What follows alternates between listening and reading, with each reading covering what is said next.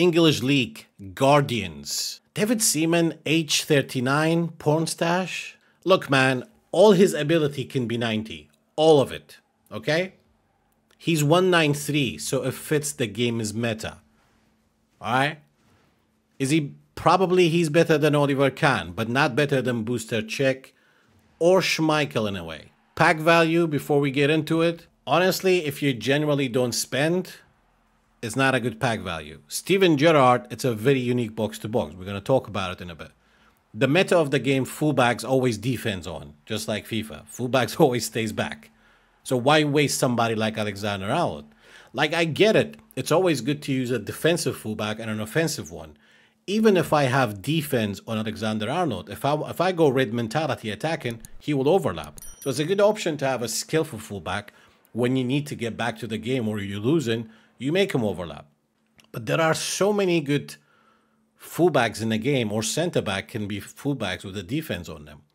So pack value, generally speaking, because not everybody spends every week. Actually, you'd be surprised how many people spend. I mean, 100, 300 million on mobile, we're like nothing, by the way. but with David Seaman, you know, his boosters are all the same. For the meta of the game, yeah, he's got the height. Skill wise, he needs low punt straight off the bat, probably fighting spirit. I would say low punt, fighting spirit, long throw. So these are two skills that he needs. Probably will be a nightmare to get him, first of all.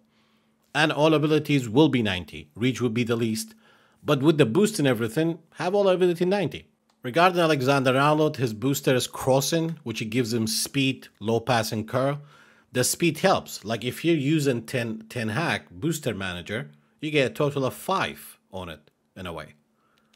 Only 80, 88 proficiency will give 85 plus abilities 3 plus. eFootball is about parking the bus mentality. I disagree. That's more like FIFA.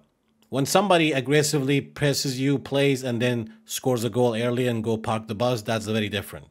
Generally, eFootball is not about parking the bus mentality. It's actually aggression and frontline pressure. I think I've already spoke about Alexander Arnold. Um, this is how I have him trained, by the way. Now, for me, I gave him 12 points on defense, right? This is with Xabi Alonso uh, booster, by the way.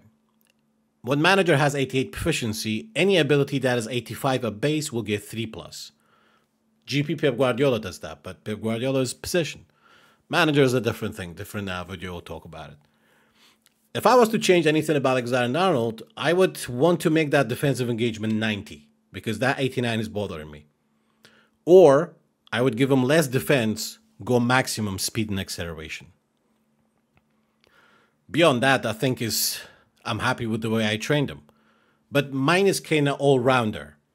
Like if I used it for the Met system 4 2 and 3, I'd probably give him more defense or maybe less passing, more more speed, and so on.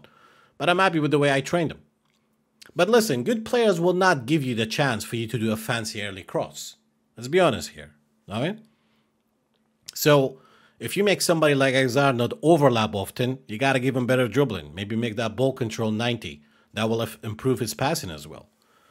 If you use uh, Pep Guardiola, for instance, make his tight position at base 87 will be 90 with Pep Guardiola's boost, and so on. Uh, beyond that, can't say much until I actually use them for 10 games. Stevie G, start of the show. I've had other Steven Gerrard cards, by the way, the Epic Big Time Booster and so on. The problem with him was he wasn't that fast or physically strong. Physically, maybe strong, but that balance kind of lets him down. But then you have to think he's not Messi, he's not Makelele. So Gerrard with high balance, it just doesn't sound right. El Promores, thank you for the rate. Muchas gracias, hermano. No hablo español. Just a little bit. His booster is Julin. Duelin? Dulin?